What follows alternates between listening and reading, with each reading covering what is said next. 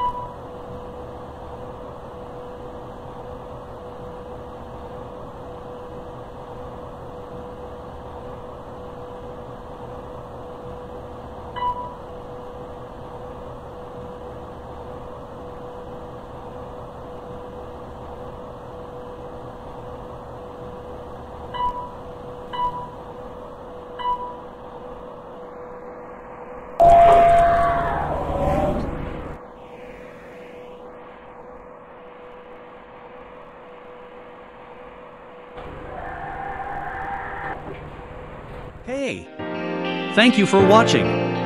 If you would like to check out more virtual lift videos that I film using Skyscraper Sim, be sure to subscribe to the Blue Aura Hornet channel by clicking on the subscribe button along with the notification bell. To visit my other channels, click on the flow page link in the description or copy and paste it into your browser's Omnibox. Until then, next time.